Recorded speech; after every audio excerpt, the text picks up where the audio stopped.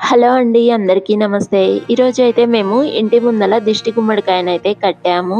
ఈ గుమ్మడికాయను మనము ఏ ఏ రోజుల్లో కట్టుకోవచ్చు అలాగే ఎలాంటి నియమాలు పాటించాలి అనేది ఈ వీడియోలో చూద్దాము. ఈ బూడిద గుమ్మడికాయని మేము ఒక రోజు ముందే ఇంట్లోకి తెచ్చి పెట్టుకున్నాము మనం తెచ్చుకునే ఈ బూడిద గుమ్మడికాయ బూడిద పట్టి తెల్లగా ఉండి తొడిమతో ఉండాలి. తొడిమ లేకుండా కట్టినా కూడా ఎలాంటి ప్రయోజనం అయితే ఉండదు.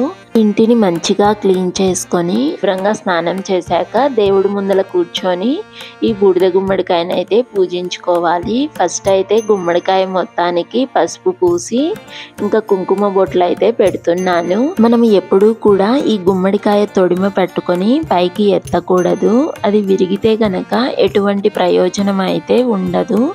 తొడిమలోనే శక్తి అంతా అయితే ఉంటుంది. అలాగే మనము ఈ బూడిద గుమ్మడికాయని తలకిందులుగా కూడా పట్టుకోకూడదు. ఈ గుమ్మడికాయని మనము అమావాస్య రోజు సూర్యోదయానికి ముందే కట్టుకుంటే ఉత్తమ ఫలితాలు అయితే కలుగుతాయి. అదే సూర్యోదయం అయ్యాక కట్టుకుంటే మధ్యమ ఫలితాలు కలుగుతాయి. ఓపిక ఏ ఏ రోజుల్లో కట్టుకోవచ్చు అంటే బుధ ఆదివారాల్లో కట్టుకోవచ్చు. ఈ రోజు అయితే ఆదివారం అమావాస్య అయితే వచ్చింది కదా. అందుకే ఇలాగా దిష్టి గుమ్మడికాయను అయితే పూజించి కడుతున్నాము సూర్యోదయానికి ముందే.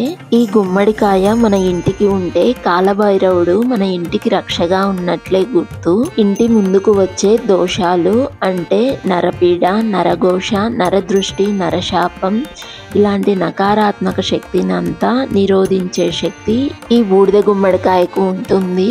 వీడియోలో చూపిస్తున్న విధంగా బూడిద గుమ్మడికాయని అలంకరించుకున్నాక అగరబత్తులు వేసుకొని అలాగే ధూపం చూపించి నైవేద్యంగా బెల్లం ముక్కలు అయితే పెట్టాను. అలాగే హారతి ఇచ్చుకున్నాక ఈ బూడిద గుమ్మడికాయని మనము ఇంటి ముందలైతే కట్టుకోవచ్చు.